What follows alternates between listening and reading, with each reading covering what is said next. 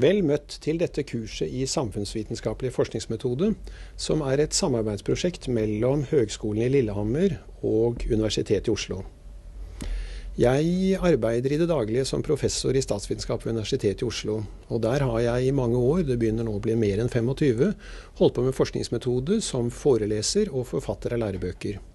Og jeg må nok si at det har hendt en del ganger at jeg møter studenter som har atskillig skepsis til dette faget til dels noe som nærmer seg en angst for hva metode egentlig er, og hvor vanskelig det er, og hvor kjedelig det er, og osv. Og det vi håper med dette kurset, det er å vise at dette stoffet verken er kjedelig eller komplisert. Det er faktisk heller ikke så veldig vanskelig hvis en bare blir engasjert og bruker litt tid til å sette seg inn i det. Og det gir eh, bedre muligheter for å bruke fantasi og resonneringsevne enn mange andre områder i faget. Og det er jo også da faktisk det som er på en måte grunnlaget for det en ellers driver med i et fag som statsvitenskap eller sosiologi eller andre samfunnsfag. Det er altså de redskapene vi bruker for å komme fram til de forskningsresultatene som faget bygger på. I denne første forelesningen skal vi se på følgende hovedpunkter. Vi starter med en oversikt over opplegget for kurset. Dernest presenteres et samfunnsproblem som skal være gjennomgangseksempel i hele kurset. Spørsmålet vi skal prøve å finne svar på, er hvilke holdninger den norske befolkningen har til miljøproblemene. Som innledning skal vi se på hva som kjennetegner samfunnsforskning mer allment, hvordan forskning skiller seg fra andre forsøk på å finne svar på spørsmål om faktiske forhold. Så skisseres det hvordan en intervjuundersøkelse kan kaste lys over det vi er interessert i, nemlig befolkningens oppfatninger om miljøproblemene. Vi skal også komme inn på andre framgangsmåter som kan brukes for å belyse dette problemet. Er vi heldige, kan vi bruke materialet andre allerede har samlet inn.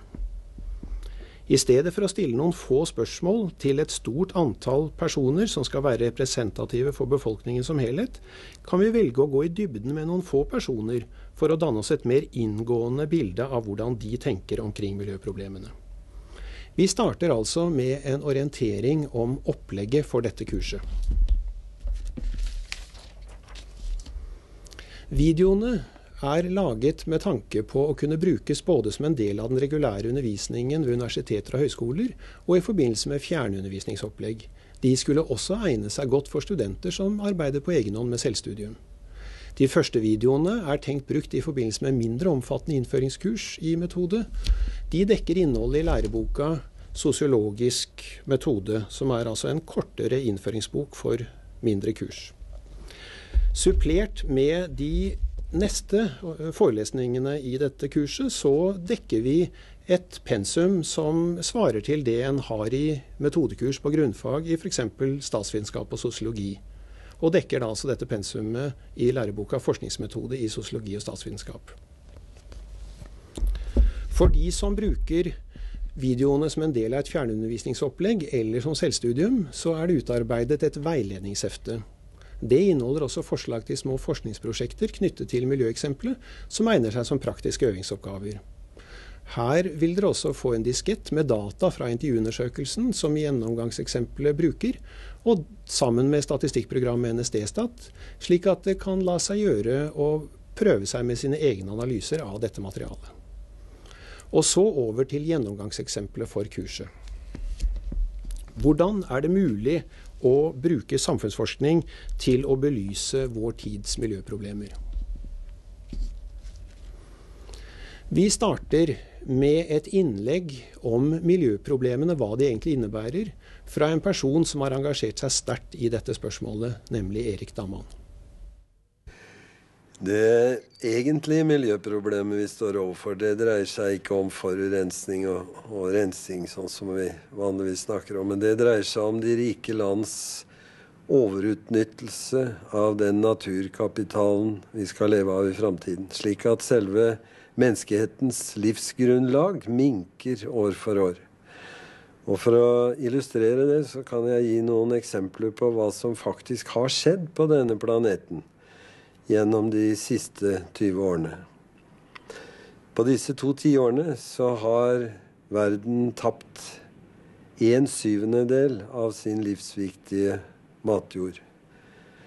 Går vi enda 30 år bak det, så ser vi at på de siste 50 årene så har vi faktisk tapt mellom en fjerdedel og en tredjedel av det viktigste vi har, nemlig den matjorda vi trenger for å dyrke mat til framtidige generasjoner. På de samme 20 årene så har bl.a. Uh, overbeiting resultert i en utvidelse av verdens ørkener med et areal like stort som alt dyrket mark i Kina. Og uh, verdens livsviktige skoger, avgjørende for klimabalanse og også for dyrkingsforhold, er på disse 20 årene redusert med et område like stort som hele USAs landareal øst for Mississippi. Vi skal også høre fra Magnar Nordraug, som er leder for World Watch Institute Norden. Dette er en organisasjon som driver med kunnskapsformidling om de globale utviklingstrekkene. Ja, Det vi da er spesielt opptatt av, er jo for det første hvordan verden vil um, bli i stand til å produsere stadig mer mat til en befolkning som vokser med 88 millioner flere mennesker i året. Og dessuten hvordan skal vi si, det økologiske presset nå begynner å svekke verdensøkonomien. Det er to av de store problemene som vi er opptatt av. Og det som i den sammenhengen er viktig å legge vekt på, det er jo da at eh, dette er ikke problemstillinger som man tar ut av løs lufta, de er ting som de tyngste vitenskapelige organene i verden i dag eh, befatter seg med. Eh, det kan være verdt å nevne at f.eks. Eh, den såkalte Union of Concerned Scientists i 1992 kom en uttalelse undertegnet av 1600 naturvitenskapsmenn, 100 nobelpristagere, som pekte på at Problemene er formidable, og menneskeheten har etter alt å dømme et par-tre tiår på å legge om kursen. Noe av det samme eh, kom eh, to av verdens eh, mest autoritative vitenskapsorganer, eller vitenskapsakademier. The Royal Society of London og US National Academy of Sciences. Også i 1992, hvor de pekte på at hvis vi fortsetter som nå, så vil vitenskap og teknologi ikke bli i stand til å løse problemene. Kursen må legges om, og de pekte da på at de neste 30 årene kan bli kritiske. Er det faktisk slik at miljøproblemene truer menneskehetens fortsatt eksistens, slik Damman hevder, et syn som ifølge Nordraug deles av en rekke ledende vitenskapsmenn? Dette er spørsmål som faller utenfor det egentlige området for samfunnsforskning. Men hvis vi i stedet spør om hvor alvorlig folk flest oppfatter miljøproblemene, om de deler kriseoppfatningen til Damman og Nordraug, da er vi kommet over på samfunnsforskningens område. Eh, statsviteren Thomas Christian Wyller har tatt opp en annen side ved miljøproblematikken. I diskusjonen om årsaken til miljøproblemene har man unnlatt å trekke inn de politiske systemene, og spesielt unnlatt å tenke over hvilket medansvar demokratiet har for det som skjer. Man har eh, lagt vekt på økonomi og på uh, forholdet mellom fattige og rike land, på livsstilsutfoldelser, men har ikke tilstrekkelig analysert demokratiets medansvar for krisen. Eh, samtidig har man noen år fått erfaring for at når demokratiske systemer forsøker å angripe krisen, så mislykkes de. Krisen blir stadig verre i takt med at miljøproblemene stadig blir mer omtalt. Og Det henger sammen med, tror jeg, at eh, eller det viser seg at demokratiene bare har vært i stand til å drive kosmetisk politikk på overflaten, og ikke evnet å gå inn i dypet av hva som finner sted. Ikke ta opp eh, samfunnsstrukturer, og fremfor alt ikke problematisere selve den demokratiske beslutningsprosessen. Og Det medfører også da akutte spørsmål knyttet til fremtiden. I hvilken grad vil demokratiet bli i stand til å ta disse problemene inn over seg med det alvor og med de konsekvenser som vil følge. Jeg tror at, eh, eller rettere sagt jeg er redd for, at demokratiske prosesser har innebygget i seg en dynamikk, for å bruke et fremmedord, som gjør det veldig vanskelig å bruke demokratiske beslutningsprosesser effektivt i sånne sammenheng. For Det henger igjen sammen med at eh, demokratiske ledere, for å være demokratiske, må ha tillit hos et folk. Og et folk må kunne velge ledere eh, som de kan kaste igjen. Og Det betyr videre at demokratiet arbeider under korte tidsperspektiver med gjentatte valg. Og til sammen virker dette, tror jeg, negativt i forhold til det krav som må stilles for å løse miljøproblemene på det dype plan hvor det er nødvendig. Så jeg er engstelig for at, eh, at eh, miljøproblemene etter hvert kommer til å bli så store at det vil påvirke den eh, politiske ordning i våre samfunnssystemer i en udemokratisk retning hvis ikke demokratiet selv klarer å fornye seg. Er det faktisk slik som Wyller frykter, at en langsiktig miljøpolitikk ikke lar seg føre innenfor rammene av et demokrati, f.eks. For fordi velgerflertallet ikke vil være villig til å akseptere nedskjæringer i egen levestandard, selv om det skulle være nødvendig? Dette er også et spørsmål som faller innenfor samfunnsforskningens område. De fleste vil utvilsomt være enig i at spørsmålene om velgernes miljøoppfatninger og velgernes offervillighet er viktige. De berører så fundamentale forhold som menneskehetens overlevelse og demokratiet som styreform. Men er det mulig å få svar på dem? Fordi spørsmålene dreier seg om faktiske, eller som vi sier empiriske forhold, skulle de i prinsippet kunne gjøres til gjenstand for en vitenskapelig undersøkelse. For at dette skal la seg gjennomføre i praksis, må vi finne måter å skaffe den informasjonen som skal til for å besvare dem. I denne forelesningen skal vi vise noen muligheter for hvordan dette kunne gjøres, som vi så går mer i detalj i i de følgende forelesningene. Aller først skal vi starte med å se på hva som mer generelt karakteriserer forskning som metode for å komme fram til kunnskap om faktiske forhold. Vi opplever alle situasjoner der vi lurer på hvordan et eller annet samfunnsforhold egentlig er. F.eks. når vi skal velge utdanning og må gjøre oss opp en mening om hva slags arbeidskraft det er mangel på, og som altså vi bør satse på. Eller når vi lytter til en politisk debatt og lurer på hvilken politiker som har rett, når de gir helt ulike virkelighetsbeskrivelser av situasjonen på et bestemt område. Hva er det egentlig som særpreger en samfunnsforskers måte å gå fram på når empiriske spørsmål skal besvares? Hvordan bør en gå fram for å få pålitelige svar på spørsmål om samfunnsforhold? Om dette vil det utvilsomt herske ulike oppfatninger, også blant samfunnsforskere. En del grunnleggende prinsipper vil likevel de fleste forskere være enige om. Vi skal se på noen av de mest sentrale. For det første at en for å besvare spørsmål om et samfunnsmessig fenomens faktiske egenskaper, må samle inn konkret informasjon, empiriske data, om dette fenomenet. Det er ikke nok å basere seg på sunn fornuft, logiske resonnementer eller hva ideologiske eller religiøse læreskrifter sier, når en skal svare på spørsmål om faktiske forhold. Virkeligheten må også få komme til orde gjennom data som er samlet inn spesielt for dette formålet.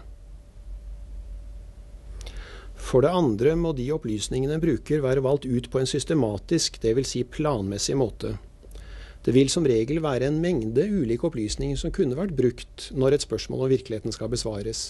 Hvis vi ga oss til å plukke ut akkurat de opplysningene som stemmer overens med våre forhåndsomfatninger, ville vi kunne bevise nesten hva vi måtte ønske. Derfor bruker forskere en utvelgingsopplegg som skal hindre skjevheter. F.eks. velges personer som skal intervjues, ofte ut ved hjelp av loddtrekking. Her betyr altså systematisk utvelging at en lar en tilfeldighetsmetode avgjøre hvem som kommer med i undersøkelsen. For det tredje så er det ikke bare utvelgingen, men også innsamlingen, bearbeidingen og analysen av informasjon eh, noe som må skje på en systematisk eller planmessig måte, med utgangspunkt i forskrifter som er utarbeidet for hvordan en skal gå fram. På denne måten prøver vi å unngå at bevisst eller ubevisst fordreining eller rene feil og unøyaktigheter skal resultere i at undersøkelsen gir et misvisende bilde av det aktuelle fenomenet. Når det foreligger en detaljert beskrivelse av hvordan utvelging, innsamling, bearbeiding og analyse av data er blitt foretatt, og denne beskrivelsen er nøyaktig og dekkende for hvordan undersøkelsen faktisk blir gjennomført, blir det mulig for andre å vurdere om de er enig i de konklusjonene som trekkes. I prinsippet skal de kunne gjennomføre en tilsvarende undersøkelse for å kontrollere om de får samme resultat, dvs. Si etterprøve den opprinnelige undersøkelsen. Dersom en slik etterprøving gir samme resultat som den opprinnelige undersøkelsen, sier vi at resultatet er intersubjektivt. Det er ikke avhengig av hvilken konkret forsker som har gjennomført undersøkelsen. Intersubjektivitet er noe en kan sette opp som et ideal. I praksis er det ofte vanskelig å kontrollere graden av intersubjektivitet, ikke minst fordi fenomenet som er undersøkt kan endre seg, slik at det strengt tatt ikke er mulig å gjenta nøyaktig den samme undersøkelsen. Felles for disse prinsippene for forskning er at de tar sikte på å hindre at forskerens egne forventninger til resultatene skal påvirke konklusjonene. Vi kan uttrykke essensen ved hjelp av mottoet 'Du skal anstrenge deg til det ytterste for å falsifisere, dvs. Si avkrefte dine egne forhåndsoppfatninger'. Det er et typisk menneskelig trekk at vi fortrinnsvis legger merke til ting som bekrefter våre fordommer, og endatil fordreier sanseinntrykk slik at de passer inn i vårt verdensbilde. Også forskere er mennesker, og vil være utsatt for slike seleksjons- og fordreiningsmekanismer. Derfor er viljen og evnen til å etterleve et slikt falsifiseringsmotto avgjørende for å bli en god forsker. En må lete aktivt etter alt som kan vise at en har tatt feil i sine forhåndsoppfatninger. Slike generelle prinsipper for hvordan en skal kunne komme fram til sikker kunnskap, er et tema innenfor det vi kaller vitenskapsfilosofien. Metodelæren, som dette kurset dreier seg om, tar opp den praktiske gjennomføringen av en undersøkelse. Metodelæren gir en oversikt over en rekke konkrete teknikker som kan brukes i ulike faser av et prosjekt, og diskuterer forhold som har betydning for valget mellom de ulike teknikkene. Et grunnleggende hensyn når en skal velge teknikk, er å unngå at egenskaper ved undersøkelsesopplegget påvirker resultatene. Dette ville nemlig bety at resultatene ikke forteller oss det vi ønsker å vite om virkeligheten. Resultatene avspeiler i stedet egenskaper ved selve undersøkelsen. Metodelæren gir råd om hvordan vi skal legge opp en undersøkelse for å unngå å komme i en slik situasjon. Forskning er ikke bare et spørsmål om hvordan en mest mulig sikkert og effektivt skal kunne skaffe seg den informasjonen en trenger. I forskningsetikken diskuteres etiske krav til de som driver med forskning. Spesielt hvordan forskeren bør opptre i forhold til de som undersøkes, for at ikke de på noen måter skal bli skadelidende. Et viktig forskningsetisk prinsipp gjelder f.eks. beskyttelsen av de undersøktes anonymitet. Resultatet skal ikke presenteres på en slik måte at det blir mulig for andre å kjenne igjen enkeltpersoner og hva de har svart. Med mindre da dette er godkjent av de det gjelder på forhånd. Den anonymitetsgarantien har dessuten den fordel at den ofte vil gjøre det lettere for en forsker å samle inn sensitive data. Men noen ganger kan forskningsetiske krav komme i konflikt med hensynet til effektiv kunnskapsinnhenting. Kravet om at anonymitet krav om anonymitet kan f.eks. bety at det blir vanskeligere for andre forskere å kontrollere resultatene, fordi de vet ikke akkurat hva, hvem det gjelder. Krav om åpenhet, altså at en skal informere de som deltar i en undersøkelse om hensikten med den, kan føre til at resultatene påvirkes. Altså at blir, eh, de som har kjennskap til hva eh, som er formålet med en undersøkelse, kan bli påvirket av denne kunnskapen. En forsøker derfor å komme fram til opplegg som både tilfredsstiller metodemessige og etiske krav. F.eks. kan en informere om formålet med en undersøkelse, men vente til etter at data er samlet inn før en gjør det. Vi har nå snakket nokså generelt om hva som kjennetegner samfunnsforskning. Nå skal vi vende tilbake til vårt gjennomgangseksempel. Vi skal se mer konkret på hvordan en kunne gå fram for å undersøke hva nordmenn mener om miljøproblemene, om de oppfatter dem som alvorlige, og om de er villige til å skjære ned på egen levestandard av hensyn til miljø og ressurser. Hvordan kan en slik intervjuundersøkelse legges opp?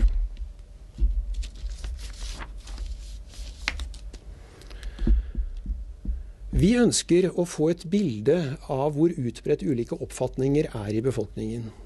Da er det viktig at de vi intervjuer ikke er en spesiell gruppe med avvikende meninger. Vi må velge dem ut på en måte som sikrer at de blir representative for hele befolkningen. Det må også være mange nok vi spør til at ikke tilfeldigheter kan påvirke resultatene. Hvis vi f.eks., sånn som en av og til gjør i avisanketer, nøyer oss med å intervjue tre-fire personer, kan rene slumpetreff føre til et hvilket som helst resultat. Kanskje var det ingen som var bekymret for miljøet, selv om dette faktisk skulle være oppfatningen til et flertall i befolkningen. Det er også viktig at svarene vi får av de ulike personene er sammenlignbare. Dette sikres ved å bruke et fast spørreskjema, slik at alle får de samme spørsmålene, at de stilles helt likt, og at svarene registreres på samme måte. Ved å telle opp hvor ofte ulike svar forekommer, kan vi så danne oss et bilde av hva flertallet av velgerne mener. En slik undersøkelse er et typisk eksempel på det som kalles en kvantitativ undersøkelse. Den deles inn i følgende hovedfaser. Først må vi tenke nøye gjennom akkurat hva det er vi ønsker å finne ut, og presisere hva vi mener med ulike begreper vi bruker. Hva betyr det å være bekymret for miljøet? Hva mener vi med å være villig til å ofre for miljøet? Osv. Dernest må vi lage et spørreskjema med spørsmål som fanger opp de meningene vi ønsker å kartlegge. Utformingen av spørsmålene må finpusses for å unngå uklarheter eller uønsket påvirkning. Før selve datainnsamlingen begynner, vil vi gjerne preteste skjemaet for å se om det fungerer slik vi tror. Så må de som skal intervjues, respondentene, velges ut på en måte som sikrer oss mot skjevheter, og gjør det mulig å anslå hva som gjelder for befolkningen som helhet. Selve datainnsamlingen består i å intervjue de utvalgte personene, f.eks. ved at de oppsøkes hjemme av en intervjuer.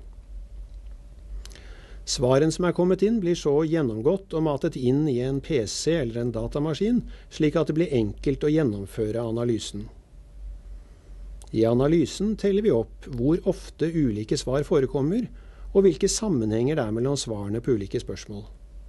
Er f.eks. eldre mer villige til å ofre for miljøet enn yngre? Når resultatene foreligger, er oppgaven å tolke dem. Dersom det har vist seg at eldre er mer offervillige, hva kan grunnen være?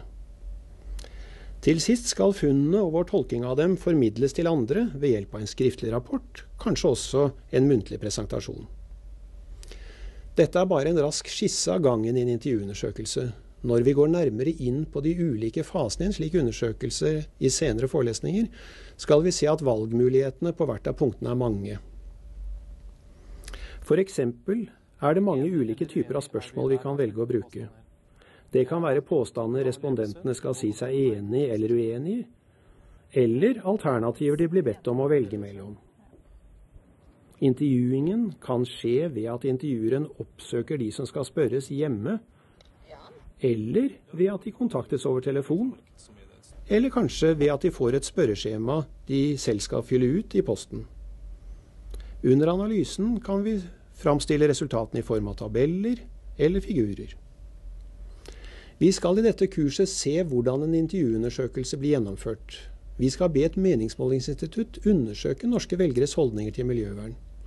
Da vil vi komme tilbake til de mange valgmulighetene stilles overfor, og diskutere hva som kan tale for og imot ulike løsninger. Det fins imidlertid også helt andre framgangsmåter vi kan velge når vi ønsker å undersøke nordmenns oppfatninger om miljøproblemene.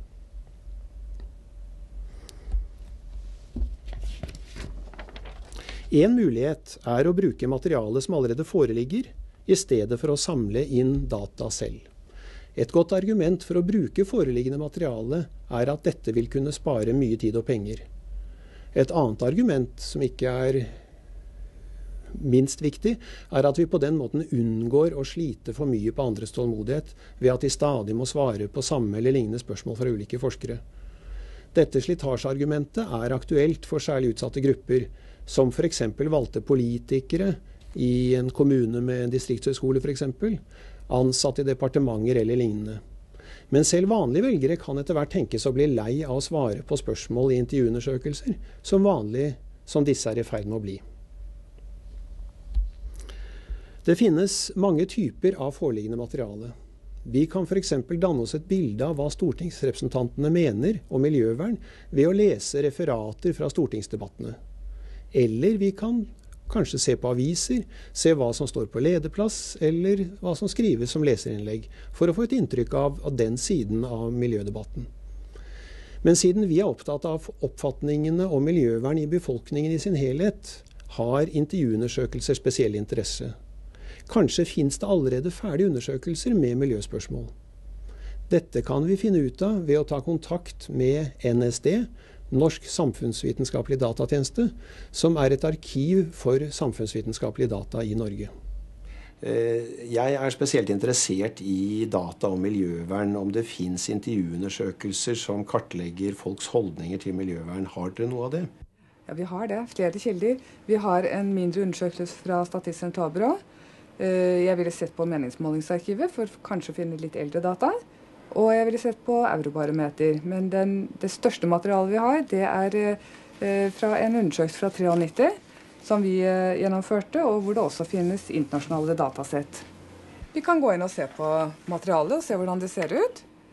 Vi var interessert i å se hvor stor andel som var, kunne godta å,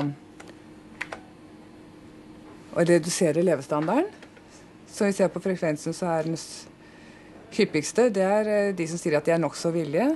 Der har vi tabellen, ja. Kan vi få et søylediagram? Ja, det kan vi. Og da ser det slik ut. Og som vi ser, så er det noe under halvparten som sier at de er nokså villige eller svært villige til å, å redusere levestandarden av hensyn til miljøet. Akkurat. Og der, der ser vi tydelig at den største gruppen er de som sier de er nokså villige.